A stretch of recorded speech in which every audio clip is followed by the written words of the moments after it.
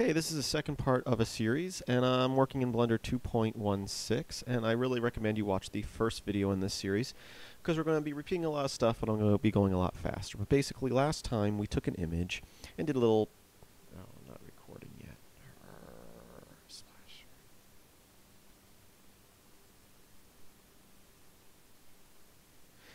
Okay, this is the second part of a video tutorial, and uh, I really recommend you watch the first part, because we're going to be repeating some stuff but going a little bit faster. Um, but basically last time we took a still image and did a little pan and zoom on it in Blender. Well today we're going to make it kind of a little more generic, and then we're going to write a script that will automate it for us, uh, allowing us to take a folder full of images and uh, create pan and zoom clips of each one that we can later combine together in a slideshow. Um, so basically making our own little preset here. Um, now, if we, um, first things first, we have to take a image that we're going to start working with. Now let me flip over here. You can see I have got uh, five images in a folder here. I'm going to take one of them. I'm going to control C it and split the screen here. I'm going to go to my temp folder. And I'm going to paste it in there. And what I'm going to do is I'm going to rename it. I'm just going to rename it. I'm going to call it uh, b3dss.jpg uh, for Blender 3D slideshow. Uh, but of course you can name it whatever you'd like. So now that we've created that little temp file that we're going to be able to replace later on with the rest of the images, we can move back to Blender here. And let me quickly turn on screencasting here and close that little window there. I'm going to delete default cube here. And I'm going to hit spacebar, type in plane, and import a shadeless.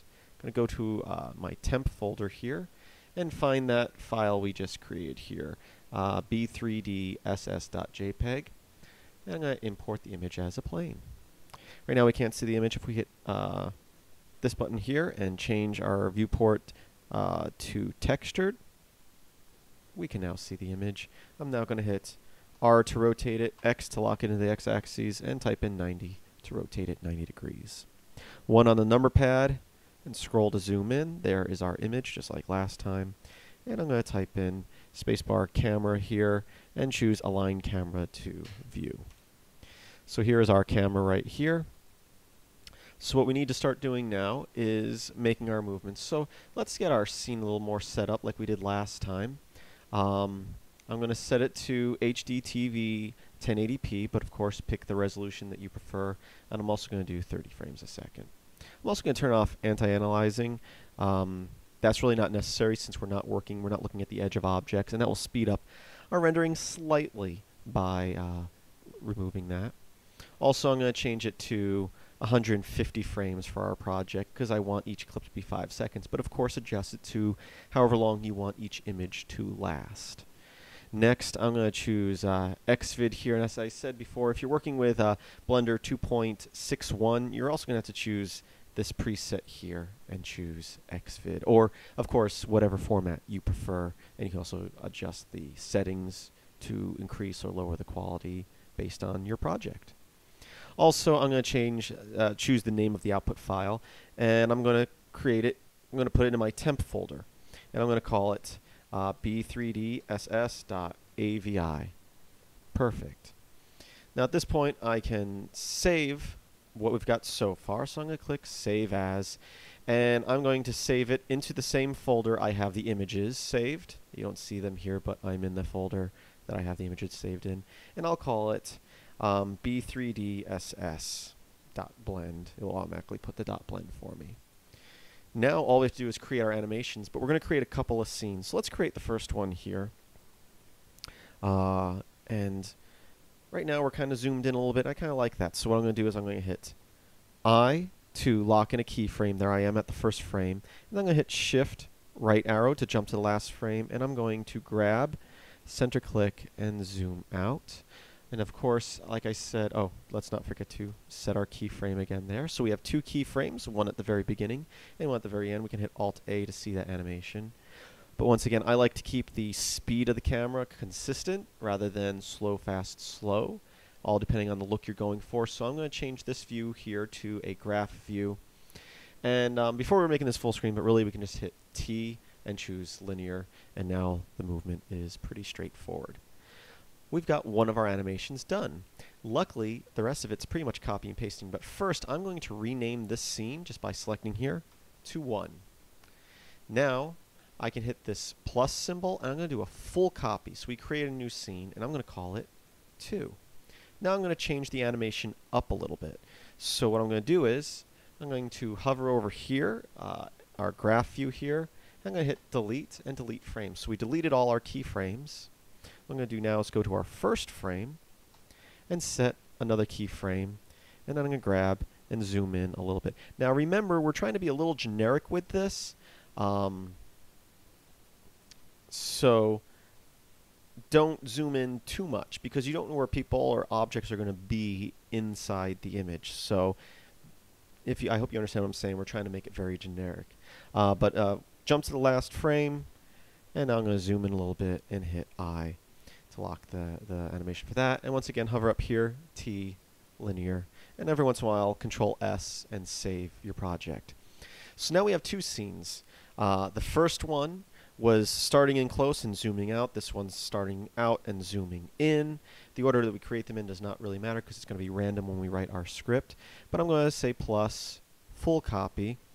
And what I'm going to do here, once again, I'm going to hover over here, delete, delete all our keyframes. I'm going to grab on the x-axis, move this to here, set our keyframe, move back to the first frame, grab and move it over here and set another keyframe and once again T and make them linear. And I'm going to change this scene to be 3. I hope you see what I'm doing here. I'm going to say plus full copy. I'm going to name this scene 4. I'm going to delete all our keyframes, grab, I'm going to start up in the top corner here of the image, set a keyframe, and then we're going to grab on the last one and move it down here. And set a keyframe. And once again, T and make it linear. I'm going to save that. Now, of course, you can make as many different animations as you'd like. I'm just going to stop at four because that's all I need now. Now, if you're not familiar with Blender, what I did may have seemed a little complicated.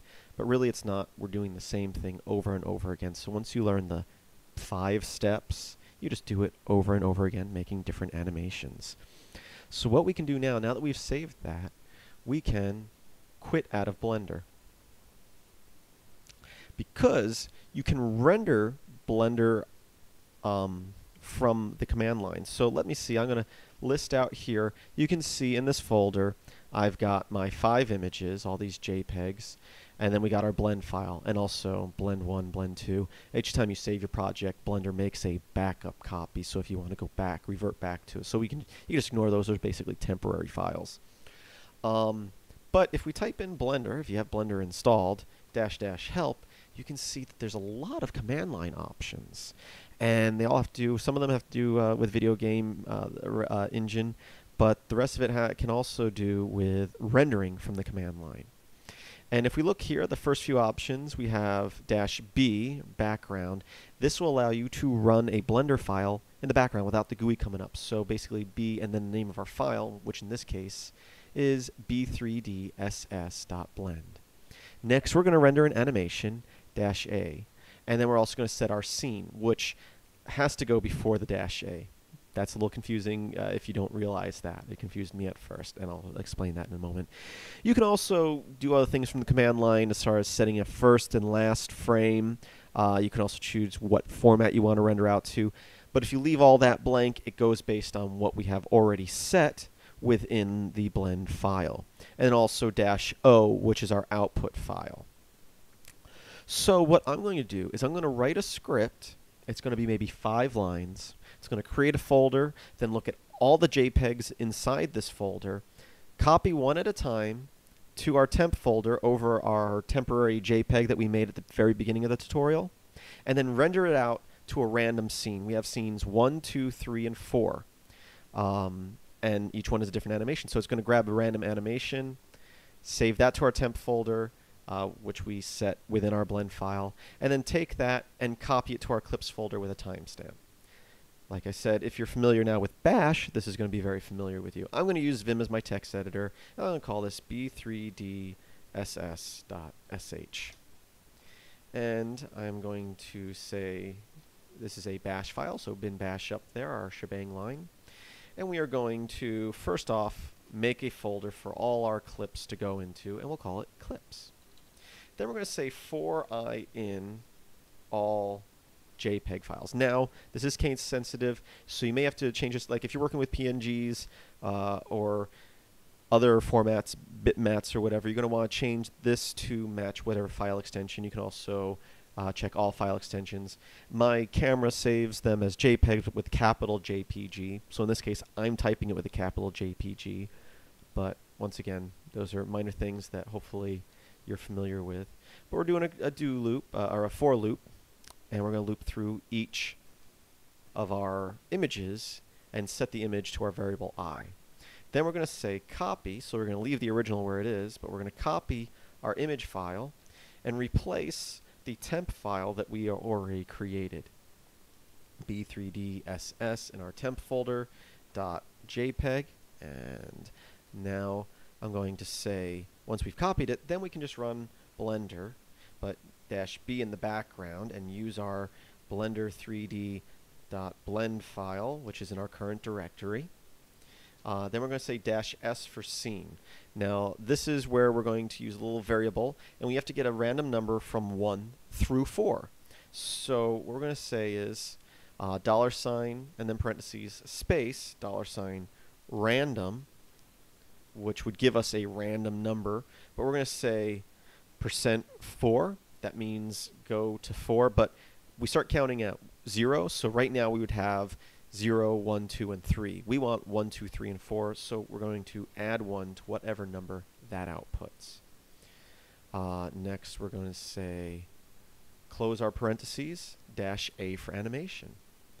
Um, we don't have to set an output file because we already set one in Blender to save to our temp folder. And what we're going to do is we're going to copy that once it's rendered out, so the file it created um, b3dss.avi in our temp folder. And we're going to copy that to our subfolder here.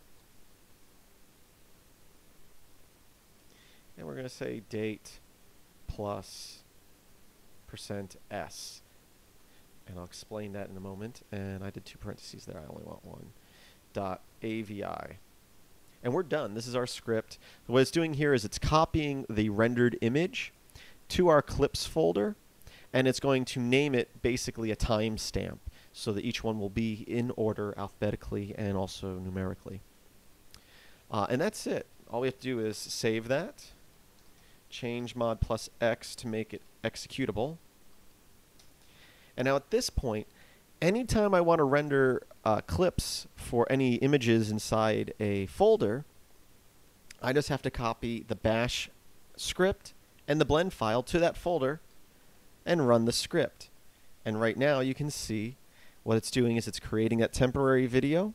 It's already created our temp folder, our clips folder, copied the first image over. Now it's rendering the video. When the video is done rendering, it throws into our clips folder, starts all over again with the next um, uh, image, and each time grabbing a random scene, 1 through 4 in this case, to uh, get random animations. So uh, that's it for this tutorial.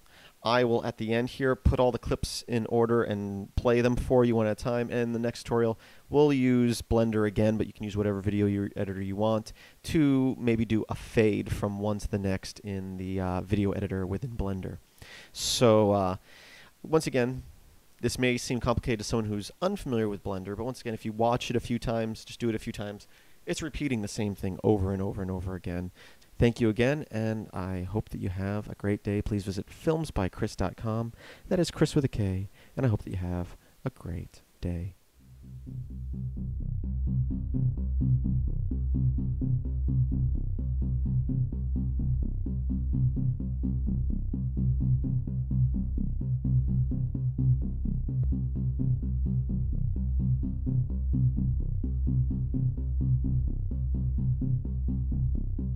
Thank